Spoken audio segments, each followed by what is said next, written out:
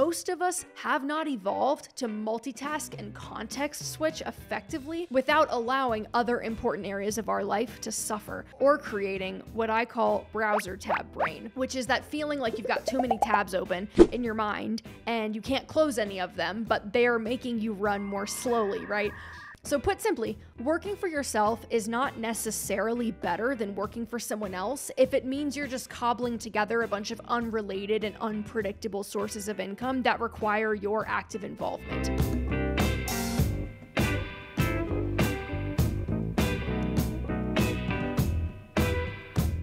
Welcome back, rich girls and boys, to the Money with Katie show. I'm your host, Katie Gatti Tassan, and today we are going to talk about something that started with good intent but has almost surely gone too far the demonization of the nine to five, the glorification of the multifaceted side hustler, and the work for yourself revolution with all of the flexibility and independence and often ignored frenetic context switching and accompanying insecurity. I saw a Medium article the other day about a woman who wrote about her nine sources of income in lieu of a nine to five job that really ran the gamut. And I couldn't help but find myself feeling anxiety on her behalf as I read about her schedule because it wasn't a collection of passive or semi passive sources of income. It was stuff like reselling my clothes and teaching group fitness classes incredibly active tasks that take time, planning, forethought, you name it. Something that I can verify personally since I have done both of those things for money in the past. And of course, it is possible that she just loves all of these things, all nine of these things, and has built an efficient system for including all of them in her schedule in a way that's manageable. But I couldn't help but think, Jesus Christ, that is a lot of context switching for any given week. And she didn't outright say it, but I got the impression by the way she was writing about it that her collection of side hustles cumulatively made less than her full-time job did by the way she discussed the trade-offs between, you know, working her job and quitting it and now doing this. So it wasn't like this abundance of context switching and variety seemed to be generating either excess ease or excess income in her life. And again, that's not a problem but if you are quitting your full time job to do a small collection of other things for money, with the express hope that it'll either A, earn you more, or B, be less stressful, I fear that neither one of these assumptions is necessarily accurate. And there's no shortage of articles of this kind. This was certainly not the first time that I encountered something like this. And they really seem to gain traction for some reason during the global panini because, man, our generation is obsessed with the side hustle, with shirking the nine to five in favor of working for yourself. And I get it because I did that and I did it like I do it too. But I I'm almost certainly projecting here, but hear me out. I think the glorification of side hustling, so, you know, working part time on the side of working full time or establishing alternative streams of personal income, has definite upsides. But wow, it's also extremely chaotic. I remember working full time for one company while working part time for another and teaching fitness and doing money with Katie simultaneously. And to put it lightly, I don't really look back on that period favorably because the amount of exhaustion and anxiety that stemmed from constantly shifting gears and keeping all these different plates spinning for unrelated things made me feel drained all the time and constantly plagued by that feeling that something is slipping through the cracks right now. So I was only able to maintain that level of output for between 12 and 18 months before my mental health seriously started to deteriorate and I had to make changes. So that period that I'm describing, it still included full time work. It wasn't just a collection of side hustles, but I think it was an accurate representation of how challenging it is to split your focus among multiple things over the long term. And to a degree, I think it goes against our nature as humans. Most of us have not evolved to multitask and context switch effectively without allowing other important areas of our life to suffer or creating what I call browser tab brain. which is that feeling like you've got too many tabs open in your mind and you can't close any of them, but they're making you run more slowly, right? So, put simply, working for yourself is not necessarily better than working for someone else if it means you're just cobbling together a bunch of unrelated and unpredictable sources of income that require your active involvement. And maybe it's a generalization, but I always found working nine to five, I still do, so I suppose I still find it that way, to be manageable and maybe even a little boring sometimes with spurts of excitement and crunch. Majority of the time, though, my biggest complaint was feeling like I was being underutilized or that I was out of the action rather than the opposite. I didn't often feel stressed by full time jobs, at least the majority of the time. Sometimes there'd be stress, but not often, uh, regardless of which company or which role it was. So I've worked for three different big companies, like tens of thousands of employees, and one startup now, a couple hundred employees. And the startup, surprise, surprise, is the only place where I've ever consistently felt accountable and in charge and like extremely challenged in my own autonomy. Most of the big corporations were kind of the opposite because the diffusion of accountability with having hundreds of people in your department meant that I was not often solely responsible for anything of consequence, and the amount of other people working on any given thing usually meant the workload wasn't too demanding on my level of personal responsibility. This is obviously subjective and anecdotal to my experience, but I'll never forget discussing the merits of working full time with a friend who had recently quit her job at our corporation to pursue her side hustle full time. And this will always stick with me. She said, with a nine to five, you can phone it in some days. You can take time off. You can leave your work computer at home. You can take half a day on Friday, not even think twice. But now I feel like every single thing I do has a direct and immediate consequence. There's no phoning it in anymore. There's no real difference between my weeks and weekends, and there's nobody to guide me. And at the risk of oversimplifying, working for yourself sometimes paradoxically provides less flexibility and diminishes your ability to only work when you want to because your output directly affects your revenue, unless you've set up something entirely passive, in which case, please call me. Some people will almost certainly thrive from that thrill and that sense of importance. Others will be surprised by it and find it jarring. And I think if we're going to promote the merits of working for yourself, we have to do so honestly and acknowledge the pitfalls. We must set expectations honestly because sometimes working for yourself is a breeze, but most of the time it is objectively more challenging and more of a roller coaster than having a nine to five is. So, if your hope in quitting your nine to five job is to take a cruise down Easy Street, you might want to think twice. I fear that this obsession with side hustles does two things that make things worse for people, and particularly young people. Number one, it pressures people to monetize their every hobby, this is something I feel guilty about encouraging from time to time, honestly, because it did work out well for me. But I realize there is a bit of survivorship bias here, and I often don't talk about all the side hustles I had that did not become lucrative businesses. Hint, there were a lot of them. I actually highlighted some of them in a blog post about wasted effort that I will link in the show notes. But when I visited my parents in their retirement community, I noticed something important and different. These people, who are in a different generation than I am, have tons of hobbies that bear no prayer of monetization. They garden, they golf, they putz around on their pontoon boats, and they sit outside and they look at birds. They do crossword puzzles and they read. And these are things that I almost can't fathom most of my generation engaging in in any meaningful way. I actually forget the last time I did something that I couldn't either justify as indirectly productive, like even a walk, is accompanied by a finance podcast with the thought that that time should be spent learning something I can turn into content. And there's nothing wrong with being productive, but I have recognized in myself an inability to turn it off. And I fear it is a bit of internalized glorification of life hacking and monetizing everything into oblivion at the extreme sacrifice of ever having any true leisure time for the sake of just having leisure time. And number two, it makes people place an undue emphasis on the idea of working for yourself. Nobody is more acutely aware of their responsibility to their employer than someone who just spent 15 minutes on money Twitter. Those people will have you believing that your employer has you in handcuffs, chained to the furnace in the office boiler room.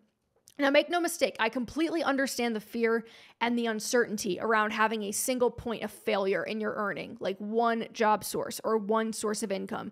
But most people throughout most of history have only had one source of income. Most people are always living close to the edge in that way. It's not unusual to work only one job. In fact, I downloaded US Census data to fact check this because I was curious how prevalent it is, and fewer than 10% of the population has more than one source of income.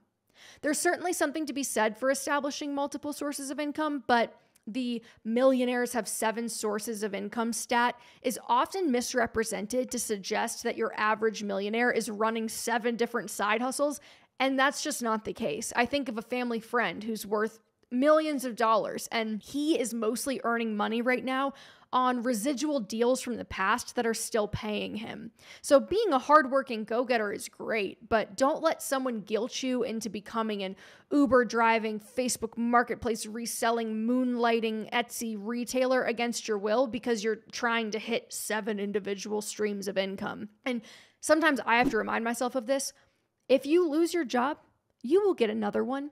It's not worth stressing yourself out about finding a second or third source of income if your first one is relatively stable and you've got enough saved to support yourself if shit hits the fan. Hell, even traditionally unrelated sources of income can be impacted by the same market or economic forces, as evidenced by March 2020, when my full time airline job and my part time fitness job were both threatened overnight by the same thing. I thought I had my bases covered because I was thinking, oh, if I get laid off because people stop flying, I'll just have this backup job that I can scale up and generate more income. Easy. But then I was swiftly reminded that both travel and boutique fitness are things that people do in groups with discretionary income, and I was not as safe as I thought. And I guess you could point out my initial flawed logic here that neither travel nor high end group fitness is recession proof. So, my founding thesis that because these two things are unrelated, they'd be affected in an uncorrelated way, that was flawed to begin with, right? But to that end, COVID 19 taught us a valuable lesson in general that we're not as in control as we'd like to feel. And stacking our income deck with random revenue generating activities at the expense of our own time and happiness may just be giving us a false sense of control. And what drives a need for control? Fear and scarcity. I didn't realize how much this fear impacted my outlook and my sense of security until I talked to my friend Bridget. She's Bridgie Casey on Twitter and Instagram. She's a Canadian personal finance writer. And she laid it out for me straight. She said, Your irrational fear of losing everything you have stems from our collective cultural obsession with scarcity that just erroneously motivates people to work harder than they need to. She was like, You've already got half a million in the stock market. You're fine. You've already won. Now, I know that that's a very privileged perspective, having already reached that point in my investing life. And you might be like, well, that's great for you, asshole, but I'm nowhere close to that. So your newfound comfort is completely useless to me. But her point is interesting as part of this larger conversation around fear and scarcity based hustle. Sure, it's effective to some degree if it means it's going to push you to earn more, but at what cost and to what end?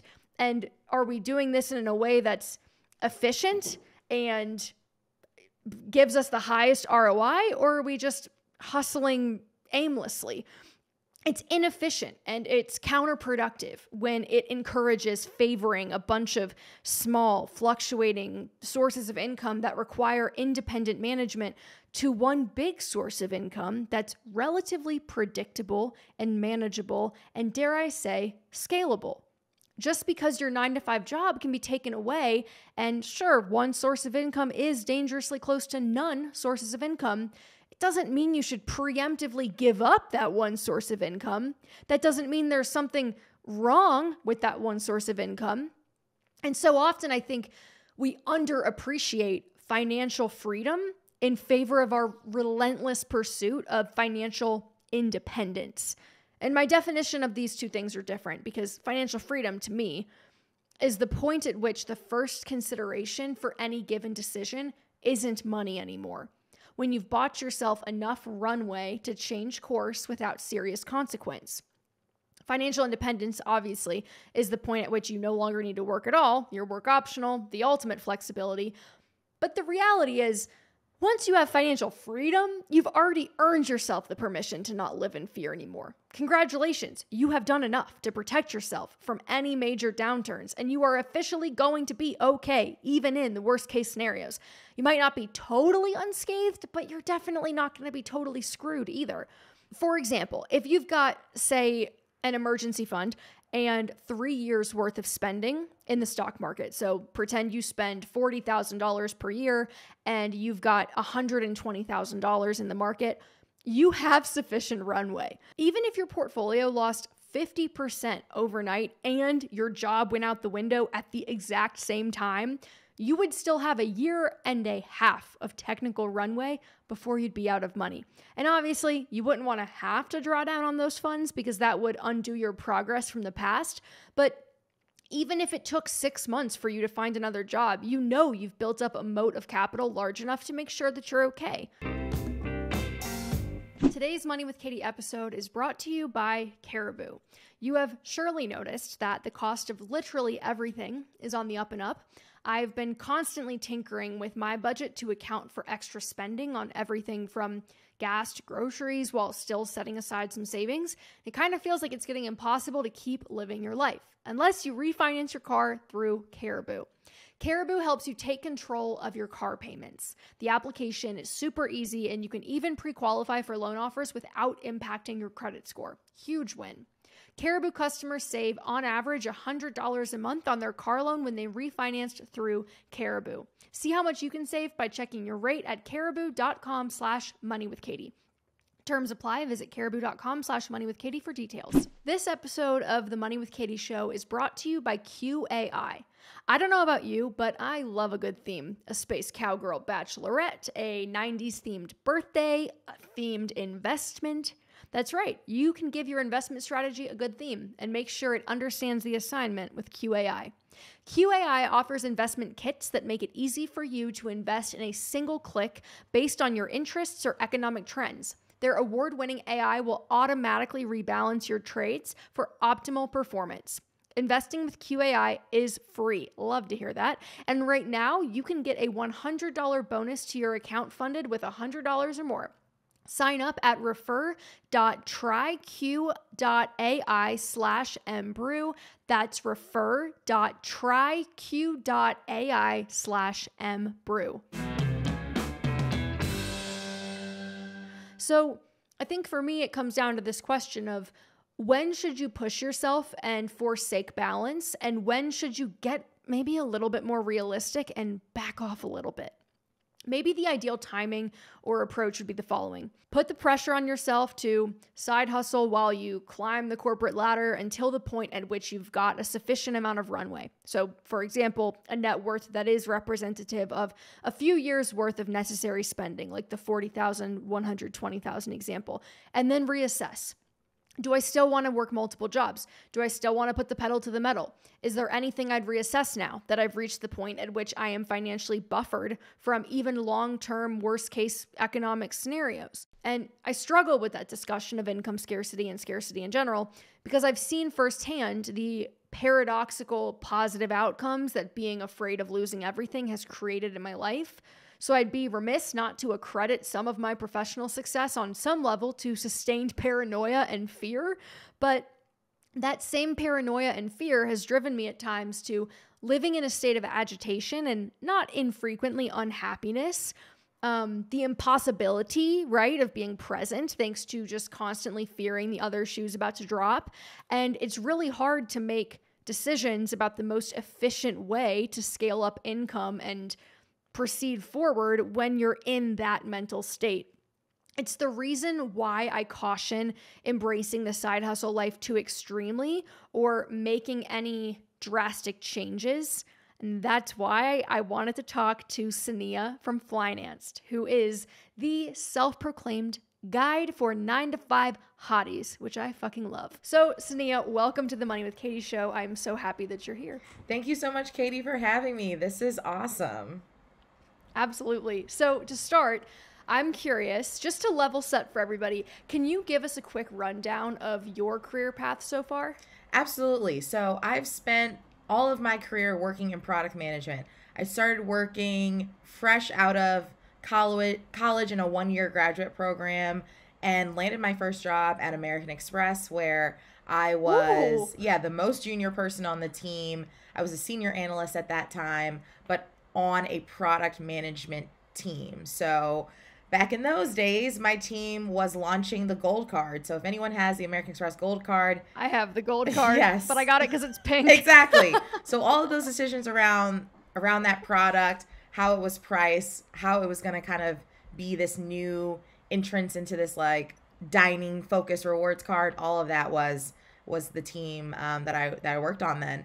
I stayed at Amex a little bit longer, was promoted, became a manager of product development, and then was kind of only working wow. on new product launches um, at Amex on their consumer side. So I got to launch the green card, the reimagined green card, uh, the Delta refresh that happened back then. So it was really cool, wow. a really great, cool time, and an amazing first job for me.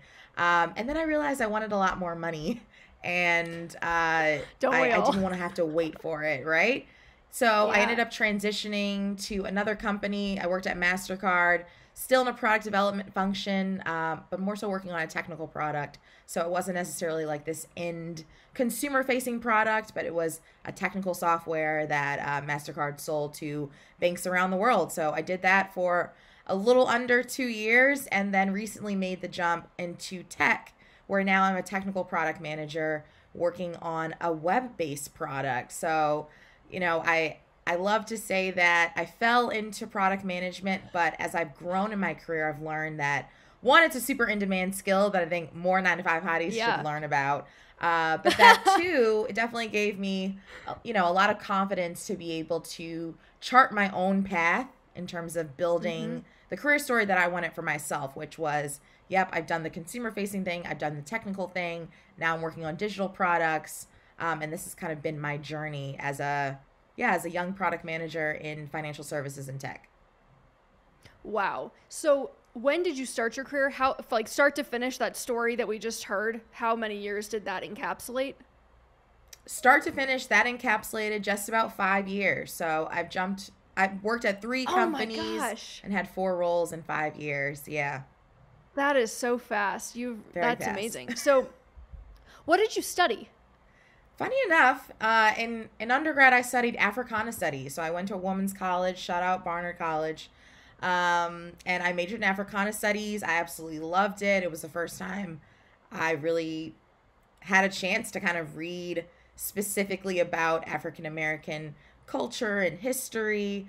Um, and then I did a one year master's program in in business management. So, uh, needless to say, very I cool. I had no you know, formal training, no certificates in product management.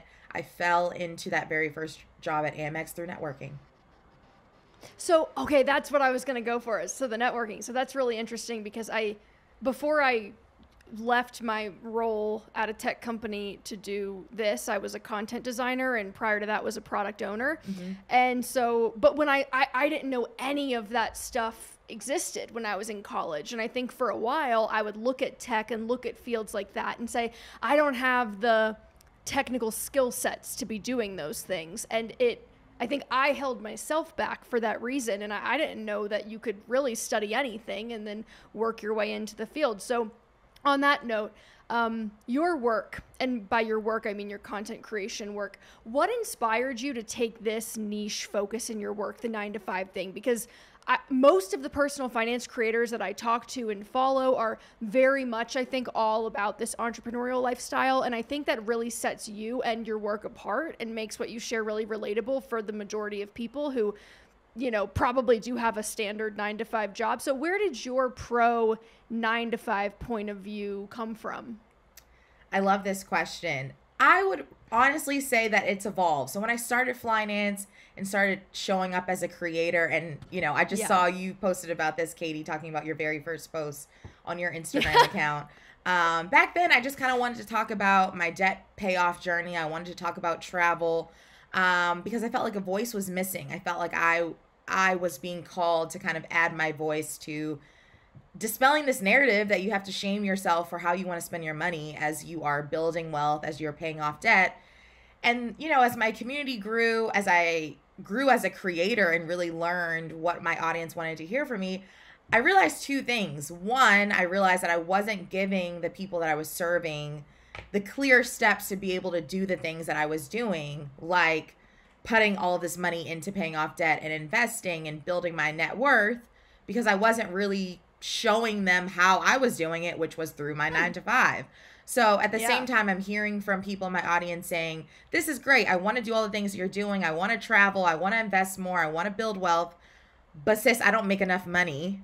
That was happening at the same time that I was also kind of feeling, you know, like I feel like I I try to pride myself on being a transparent and authentic creator. And it's kind of like mm-hmm.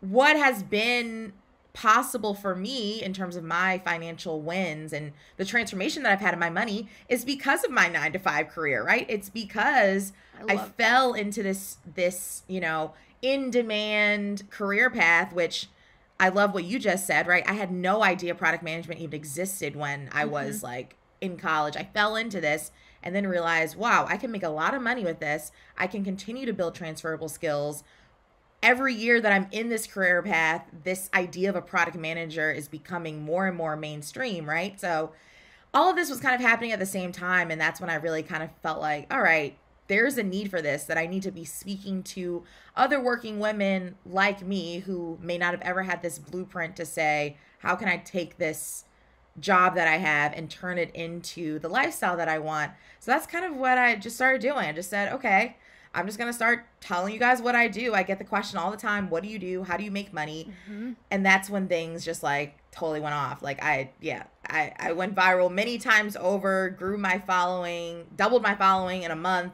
It was insane. Yeah, I mean, it's it's oh, been insane. Yeah, I remember because you hit a hundred thousand followers, and then three weeks later had 150 and i was like Cinneah is on some other shit over here. I'm like let me i'm like i'm gonna need to take a page out of your playbook. But okay that is super helpful. And i think for anyone listening who this is the first time that they're hearing you or seeing you and they're like, wait a second, I've never even heard of product management. Can we get like a quick 30 second kind of breakdown of what it is? I'm sorry to put you on the spot like this, but I think it would be helpful. Absolutely. So, a product manager is someone who's really owning the end to end life cycle for for a product. So, when I say a product, a product can be a tangible product like a credit card, like a you know even like a piece of clothing that's that's considered a product right? All the way to an intangible product like a software like an app right? So i like to say that all of the all of the things that we interact on a daily basis there's probably a product manager behind the look the feel and how we interact with it right? So a great example is Instagram, right? There are product managers yeah. who are thinking about every detail. Tons of them. Uh, right, tons of them that are thinking about every detail in terms of why buttons are placed a certain place, how they want you to have an experience, how they want you to interact with the app, as an example, right? So mm-hmm. I really love product management because it allows me to be able to become this like subject matter expert of something, but also be able to work with a lot of different people, right? A product manager yeah. is not just kind of owning everything on their back, they work with highly cross functional teams um, to be able to make their products successful. So I think that's why I've really enjoyed being a product manager. But yeah, that's in a nutshell what a product manager is. And it really can look different depending on the industry you're in, the company that you're in, the products that you're working on. But in general, all product managers are thinking about how do I take this product from an idea, execute it, launch it, make it successful, and then, you know, make those decisions around when it's time to either sunset mm-hmm. or improve this product.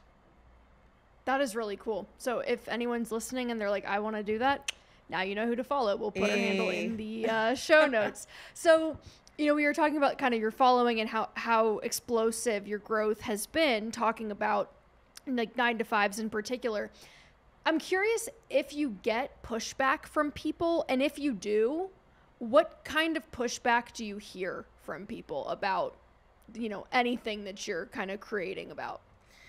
Absolutely. So, you know, I call my followers nine to five hotties. And I, I want to say this because I think I this is it. like spot on for what we're talking about, right? Like this, this like term popped in my head around the same time that I feel like I was seeing a lot of content that was really demonizing the nine to five job. Like, so I love this. I mm-hmm. love this idea for this episode um, because that's really what inspired me to start talking about not just talking about nine to fives, but like putting some respect on other working women like me who are just like put some respect on our names, right? Like. There's nothing wrong with having a nine to five, and many of the entrepreneurs and like creators that I follow, many of them started working in nine to five jobs, well paid nine to Yeah. five jobs at that Yes. That Yeah. allowed them to have the money to be able to put into a business, to be able to put into working capital, to be able to put into real estate investments, right? So it's like, why are we acting like everyone should just wake up one day and become like an online entrepreneur and it's just Yeah. roses and butterflies? Like, like that's a lie, right? So, Yeah. so I, I turned, I, you know, I coined this term nine to five hotties, and that's what I call my followers. But I think the biggest pushback, to go back to your question, I think the biggest pushback that I that I get, I honestly forgot I asked it, so it's fine. I think the biggest pushback that I get is, um, you know, I, I think I get some fair criticisms around uh, some of my content being a little bit too aspirational for people, right? So we talked about this. My career journey, I've I've made incredible leaps and bounds in my career in just five years of working, but at the same time, I've also grown my salary four and a half times. I've doubled my total compensation in one year, right? Like my very first job working at Amex, that first year that I worked, I only made forty-eight thousand dollars. Now I make well Yep. over two hundred thousand dollars. Like that is an extremely Which, by the way, can we just pause to be like, A, that's amazing. B, bless you for saying it. I'm so tired of people being hush hush and cagey about how much money they make. Like, you, we have to talk We about to. the numbers that are out there because someone listening to this could be like, oh, yeah, that sounds okay. It's like, well, if I know that I can make over $200,000 with five years of experience, that might make this, you know, push it past that sounds okay to like, oh, this is actually worth the time and effort to look into. So, anyway, I digress, but thank you for the transparency. Absolutely. No, yeah. I, I think it's so important, especially for the people that we serve. So, you know, I think I, I think that's some of the biggest pushback that I get. It's just like, you know, this is unrealistic. Like people can't make these kind of jumps that you've been able to make.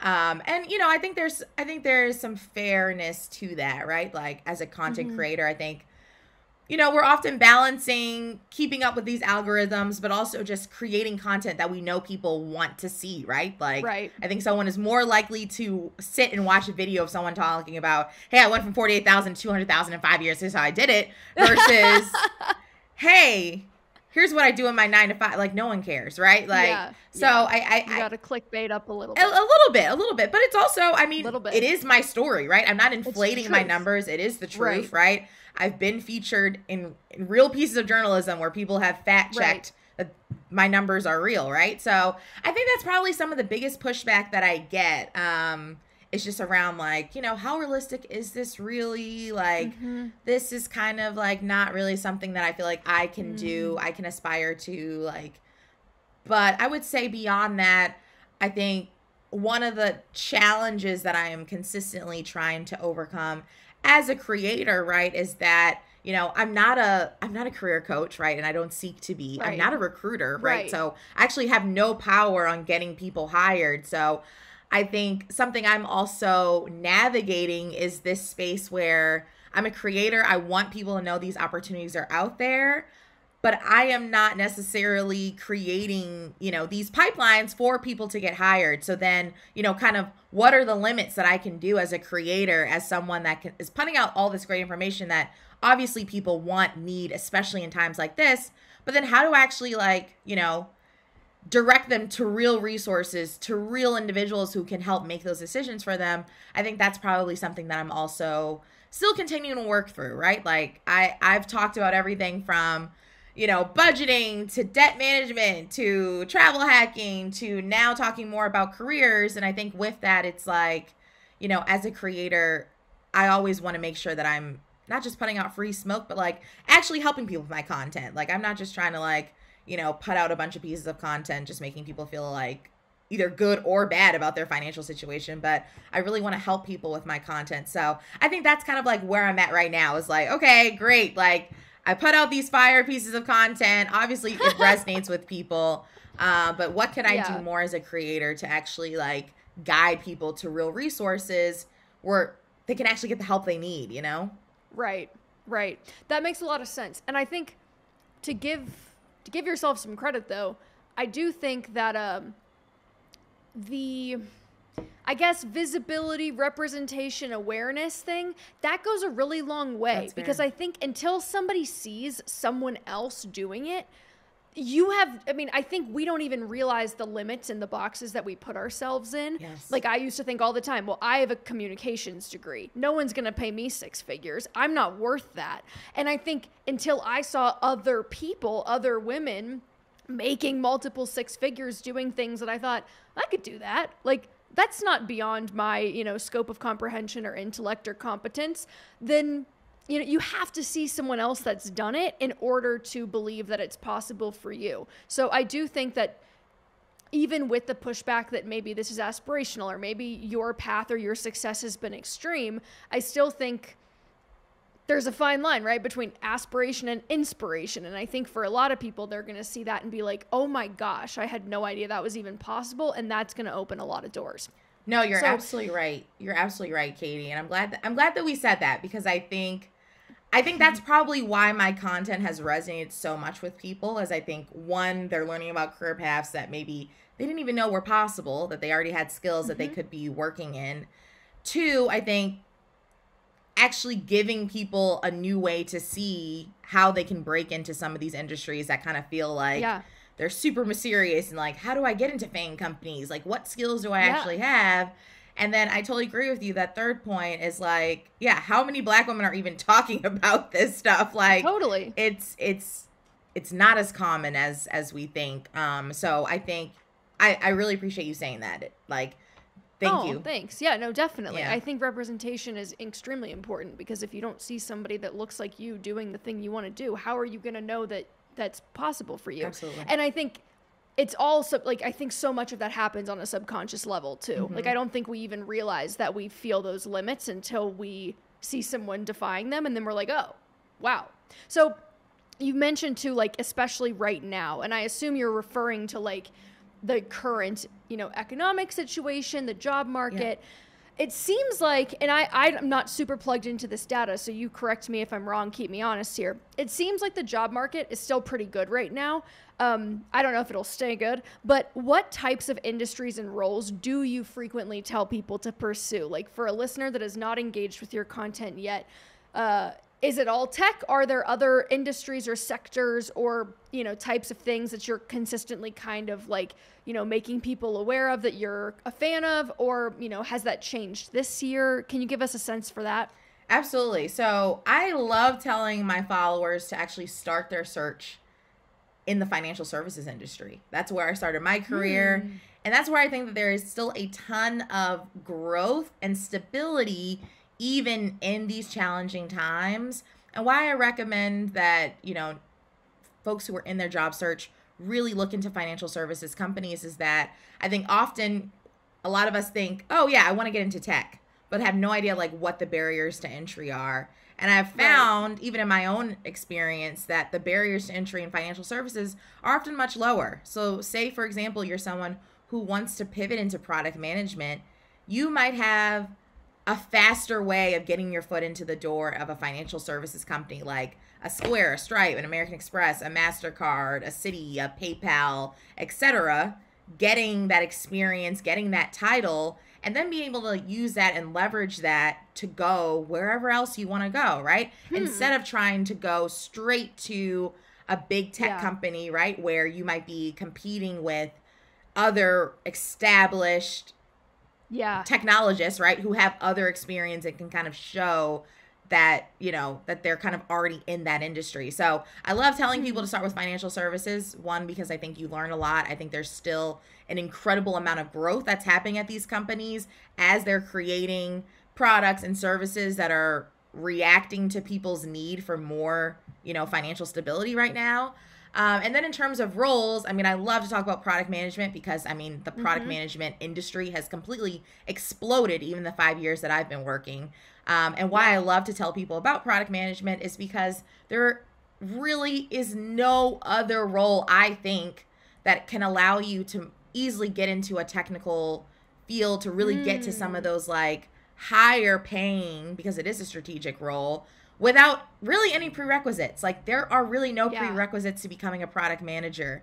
Um, right? There is no, oh, everyone has to be PMP certified to be a product manager. That's not true, Yeah. right? Like, and I, I try a lot in my content to push against this narrative, right? If you want to invest in those types of certifications and that kind of learning, by all means do it, but you don't need it to become a well paid product manager, right? Like I don't Yeah. have any of those things as part of my background. I don't have any technical certifications. You know what I went to school for? Liberal arts mm-hmm. degree. Come on, right? Like I networked my way into product management and learned on the job and that's what's allowed me to build this career, right? So, I love telling people about product management and I also have a lot of 9 to 5 hotties who follow me who have worked in probably like customer service, like executive assistance roles. I love to tell them Mhm. about program management, right? Because they have all of the Oh, skills yeah. of being a program Yes. manager and don't even know that by simply switching the way that they talk about themselves as they show up in these job interviews, as they craft their resumes, that they could be getting 30, 50, 70, $100,000 more in income by just now showing up as a program manager and not an executive assistant, right? Like even just like the language that we use to talk about our skills and talk about the work that we've done, I think that is kind of also what I'm trying to like help put into the ethosphere. Like there's plenty of jobs out here and I definitely agree with what you Yeah. said about like the job market is still hot, but I think the biggest gap is that so many of us feel like well, do I even have skills to get some of these jobs? Yes. Mm. But like when have you taken a, a when have you taken that time to kind of reflect and say, "Hey, I actually have a lot of these skills that they're looking for in program managers." Like why don't I like just start to show up as a program manager, right? Um, and and use that to your advantage to get to those big obnoxious bags that we all deserve. Those big. I love you. I'm sitting here grinning because I can't get over how like I just know. I just know there's someone listening to this that's an executive assistant that's like tired of making what she's making or he's making what he's making. I'm saying she cuz 80% of our audience is female, but um and I can just like feel the wheels turning preemptively. So I just love how actionable that is and the note on the financial services industry in general. So I guess uh in a nod to that to that person who may be listening who's like I want to make $200,000, what would you tell someone who is frustrated with their current compensation? Maybe they are in a field or a role that's not highly paid um, or maybe there's something else going on there. I know that is kind of a generic question, but I think I want to give somebody that actionable step of like, where should they begin? If they know that they're frustrated, they know they want to make more, where's the best kind of starting point? I think the best starting point is to start where you already are. Start at the company Okay. where you already are, right? Mm, so love. if you are in a role where you feel like you're being underpaid, overworked, and your skills are underutilized, start to have those conversations, one with your immediate manager to kind of understand, like, okay, I feel like I want to grow in my career here. Let's start to connect me with other hiring managers at the same company that I can talk to and kind of Mhm. understand what they're looking for, right? Like, companies want to retain talent, especially in a job market like this where yeah. companies Ooh, small and good point. wide are completely being purged of their high performing talent. So if you're one of those people who you're getting these good remarks, right? You have great reviews, performance reviews every time they come around. Use that to your advantage and start to see who else is looking for people like you with your skill set. What I've already said is that many of the jobs that we want, we are going to learn on the job how to do them, right? So Right. I think a great example is like someone who is, you know, in a very like front front office facing, business facing role already. Start to see like do you have product managers at your company? Do you have program managers at your company? Like who can you start to talk to that's kind of more so in the more technical roles at your current company? Start to Mhm. network with those people and kind of understand how can I internally make the switch over to more of the work that you guys are doing. I think the benefits of that is you may be able to see an increase in your salary staying at the same company once you move, right? Say if you're a marketer now and you move to product management, that may come with a bigger salary because your company may see a product manager as a more technical role. Can confirm. exactly, right? Um, and then I think from there, really seeing can you continue to grow in that, right? I think if you've exhausted Yeah. those options and like you just don't feel like you can do that internally, that's when you can start to say externally, okay, based on the skills that I have, what are those jobs that I can that that work for me, right? So I share this a mm-hmm. lot of my free content. If you download my free guide, link to my bio, I give you some job mm-hmm. titles, but it's really just starting to do that discovery work to say, okay, these are the things that I've really enjoyed in this role. These are the things that I feel like come easily and natural to me. What are the jobs that align with that, right? Like if I'm telling you, okay, I, you know, I got a lot of hotties who are like, yeah, I, I have a sales background.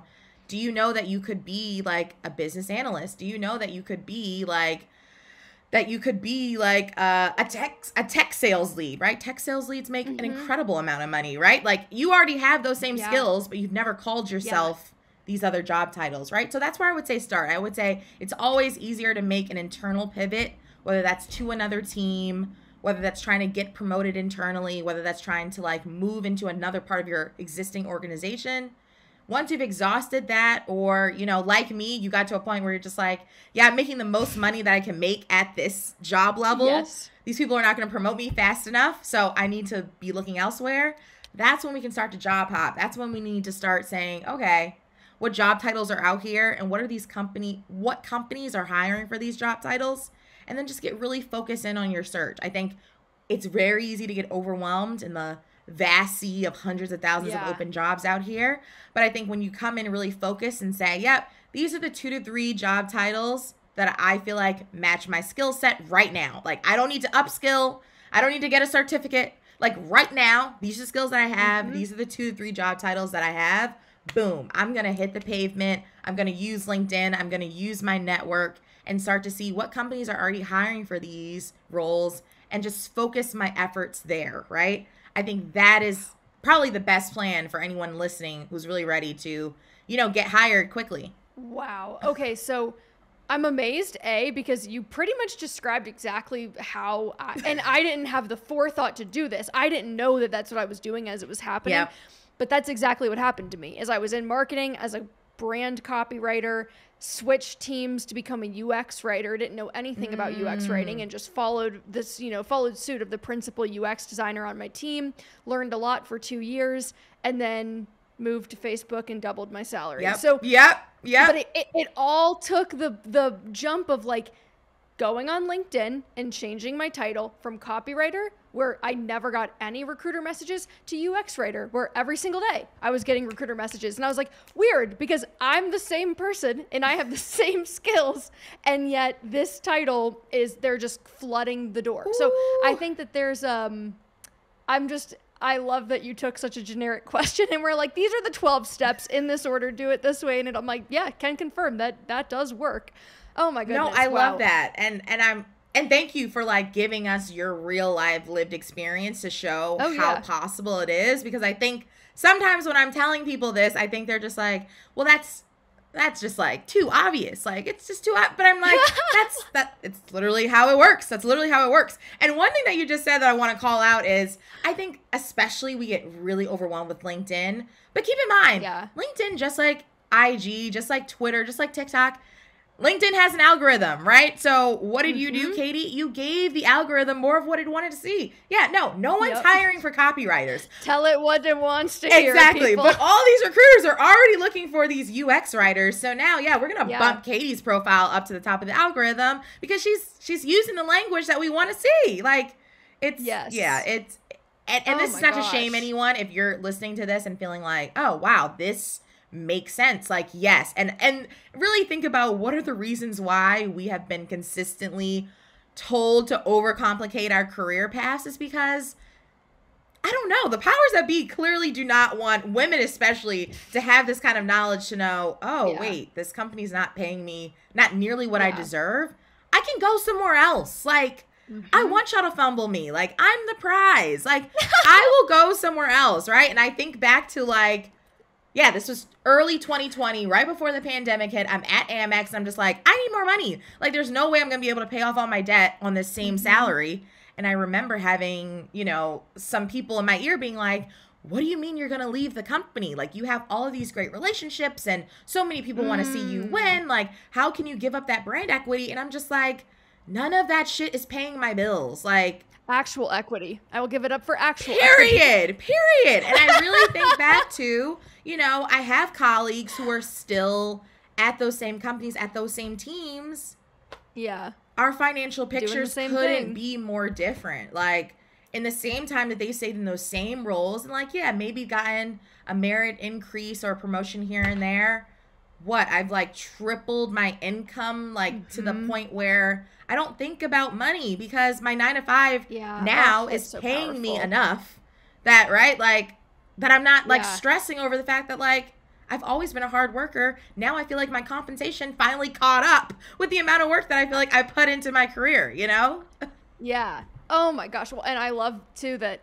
You ever think about the fact that I used to tell myself all that, that when I, you know, I'd make fifty thousand dollars and I'd be like, "This is the least amount of money you're ever gonna make." Like you're a stock that's going up, trajectory's going up. So same thing. It's Same like thing. you're at over two hundred thousand. Yeah. You're like probably still the least amount of money you're ever gonna make, which That's is pretty fact. cool. That's a fact. Wow, um, that's a fact. Yeah, and I think there's a there's a great deal of confidence too in like being able to do something as just concrete as like screw it. I'm going to call myself program manager. I'm going to call myself a ux writer. Like there is a degree of belief in yourself and okay fine. Maybe i don't know everything about it. I'll stretch into it. It's like that uh I think they've now debunked this statistic, so I don't want to, you know, quote this too strongly, but how like men will apply for a job if they're 60% qualified and women won't until they're 100%. It's kind of in that same vein of like are you willing to believe in your own competence to stretch into things that maybe you're not 100% comfortable with but are more in line with your potential? Absolutely. I mean, what what's the saying? You got to walk around having the confidence of a mediocre white man. Yep. I can't think of a better scenario than going into a job where you're just like, yeah, I can- I mean, I can do most of this. Like, yeah, knowing that you guys are going to teach me everything else. Like, I don't need to be an Yes. expert in any of this stuff. It is 2022, sis. You can literally go onto TikTok and learn how to become a UX writer, learn how to become a product manager. Like, like we just got to stop putting these limiting beliefs on ourselves because it's literally impacting how much money we have. Like, it's Yes. literally stopping us from getting from the big bags. Yeah, if I listened to those naysayers back at Amex, I'd probably still be sitting in the same role twiddling my thumbs. And now I'm a fully remote hottie, and I'm just like not being micromanaged, making more money than I've ever made, and also still being able to show up as a creator. Like, this is it, sis. Like, Dude. and it didn't take me that long to do it. I didn't have to put Right. in all of these years to prove myself. It's like my average that I've worked at a company is two years. Two years. Like Mhm. two years is gonna go by fast anyway, sis. It like does. you may as well use it to say, well, yeah, in these last two years I've grown my salary by seventy thousand dollars. Like that's those are the wins that I want you to have. Not oh Yes. yeah, I took on all of this work and now I'm in the same place and I'm not Yeah. promoted. No, no, no, no, no. That story Mhm. ends today. Or like I'm cobbling together 14 different side hustles that pay me $20 an hour. It's like I think that's the the seven streams of income thing that gets tossed around where it's like you're probably better off most of us honestly are better off devoting that energy to our actual jobs and and doing exactly what you're describing. Um man, wow. Yeah, talk about a crazy ROI. I love it. Come on. Thank you so much for being here, Cinneah. This was a blast. Thank you, Katie. This is awesome. I absolutely love what you're doing to, Oh, thanks. you know, just make money more relatable, more fun. Um, and we need that. So thanks so much for having me. Rich Girl Roundup. Love it. All right, everybody, to close us out this week, we've got another Rich Girl Roundup. As a reminder, we will take listener questions every month. I'll put out a call for questions on Instagram, so follow Money with Katie if you're not already. And we will pick one that feels interesting and widely applicable, and we'll answer it. As my standard disclaimer, I'm not a licensed financial professional. This is not financial advice. This is what would Katie do in your situation. This segment today is brought to you by Betterment, giving you the tools, inspiration, and support you need to become a better investor. Here's this week's question from Neil. Hi, Katie. I'm Neil, and I'm calling in the Rich Girl and Guy Nation from Kennett Square, Pennsylvania. I'm currently in between a year long contract that pays a third better than a full time position and a full time position with better benefits. How do you decide? Is contract work versus full time employment better? Thank you. This is a great question, and I think the answer will be a little subjective depending on how you like to work, Neil. I have done both contract engagements and full time engagements, and I think most of us would generally agree that the full time employment agreements are better from a few standpoints, like access to a 401k and employer matching that you likely don't receive as a contractor, health, dental, and vision insurance, and the sense of long term security. Though, if you're an at will employee, that may be a perception that's not entirely grounded in reality. But I like that you're highlighting that the contract role pays 33% more than the full time role because I think people will find that's pretty common. This is because providing all of those full time benefits costs money. For example, the Kaiser Family Foundation found the average cost to an employer to provide health insurance to an employee and their family was $16,000 in 2021. This is why I'm such a proponent of universal health care as a side note and believe it'll actually make our economy more competitive because employers won't have to bear the brunt of insuring citizens. That 16,000 bucks is considered part of your total comp as a full-time employee, which means it's money that you're not being paid as a salary. So, if I were weighing these two options myself and all else was considered equal, and by that I mean I'm equally interested in both companies and both jobs, I'd probably try to understand what the true differential is between compensation by assessing the true value of those benefits. For example, how much are you paying for health insurance as a contractor? How does the coverage compare if you can find out with respect to your deductible and your out of pocket maximum as a full time employee? Like if you're putting numbers around it, for example, maybe you paid $33,000 more by the contract role and your health insurance costs to provide for yourself are $10,000 per year well, you're still coming out net $23,000 ahead. Same with the 401k. If you don't have access to one as a contractor and you need to use IRAs instead, you can calculate the difference in tax savings. For example, if you're in the 24% bracket and you contribute the full 20,500 to a 401k, you'll save $4,920 on your taxes plus any matching contributions you would have received from your employer. But if you're a contractor, you'd have to use an IRA instead with a $6,000 limit, which only creates $1,440 in tax savings for a net difference of 3,480 bucks and whatever the match would have amounted to. In this example though, it's clear that you are still in the black as a contractor. If the pay difference is that drastic, but It'll depend, of course, on the actual numbers. The cost of your health insurance, the marginal tax bracket you're in, and whether or not you actually plan to leverage a full 401k uh, plus the employer match, and any other monetary benefits you may have gotten from the full time role. Being a contractor can have some benefits too, since you're hourly. They have to pay you overtime if they require you to work more, whereas a salary doesn't typically come with that perk. So, thank you for the question, Neil, and I hope that helped. All right, y'all, that's all for this week. Before we go, comment below what you thought the most interesting part of our conversation was, and remember to like and subscribe to our channel. I will see you next week, same time, same place on The Money with Katie Show. Our show is a production of Morning Brew and is produced by Nick Torres and me. Sarah Singer is our VP of Multimedia, and additional content editing comes from our lovely senior editor, Hannah Velez. Our video producer is the fabulous Christy Muldoon, and Sam Cat is our vice president of Chaos, while JoJo Beans is our chief of Woof, barking at the FedEx man every time he comes to the door during our recordings.